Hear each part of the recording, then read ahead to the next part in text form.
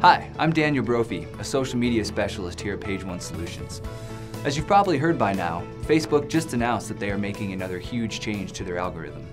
The majority of public content from brands, businesses, and the media will soon be eradicated from the Facebook newsfeed. Many people are calling this the death of organic reach for Facebook business pages. The message came straight from Mark Zuckerberg himself. He posted about this new direction for the company and how they've determined that public content is crowding out posts from friends and family, which is what they believe to be most important for their users. It's hard to say what their motives are. Maybe it's truly a proactive move to better their platform and provide more meaningful experiences to users, or perhaps it's simply an attempt to deflect growing criticisms of Facebook and the potentially harmful nature of social media in general. Either way, a dramatic change was not completely unexpected. In fact, this is a direction that Facebook has been heading in for some time now. Honestly, Facebook and social media are pretty new in the grand scheme of things. The nature of these platforms and how they can and should be utilized by businesses are not set in stone. How will people use Facebook in 10, 20 years' time? Nobody really knows, right?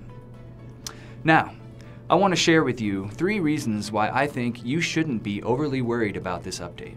I'll also share five steps that you can take to ensure your business maintains a strong and valuable presence on Facebook. First of all, let's take a step back and think about this. The environment and mediums of marketing and advertising are constantly changing. They always have and they always will.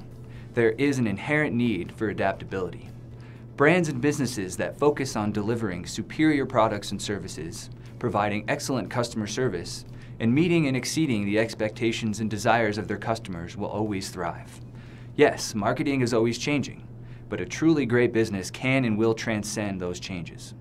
Second of all, Facebook still has a huge user base of highly engaged people that use the platform every day, and it's still growing. Combine that with their massive advertising network and ever expanding product and service offerings for businesses and marketers, and it's pretty safe to say that Facebook as a marketing channel is not going anywhere anytime soon. Third, if you read Zuckerberg's post closely, you can see that it doesn't spell all doom and gloom.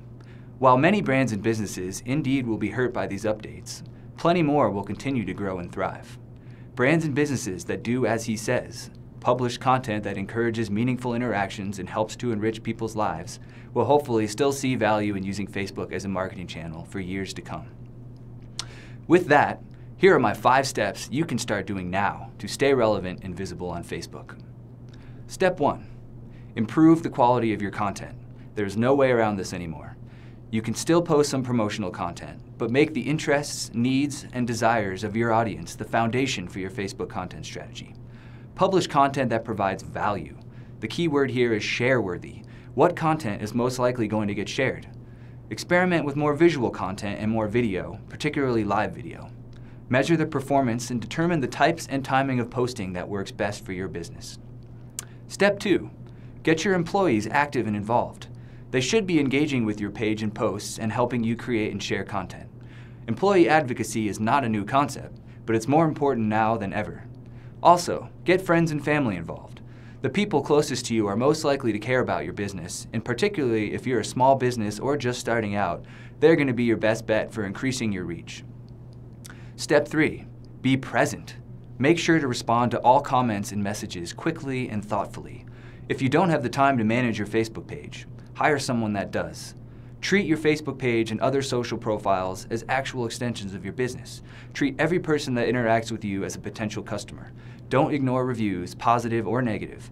Also, go beyond your own page. Engage with other pages and participate in groups.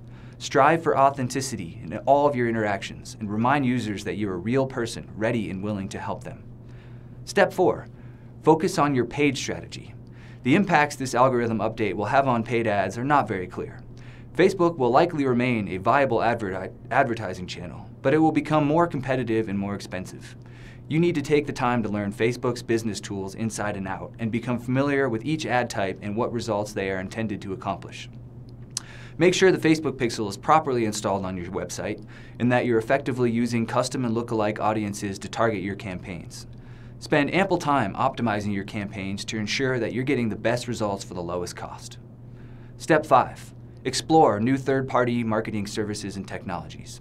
There are countless technologies that can streamline your efforts and help improve your results on Facebook, both paid and organic.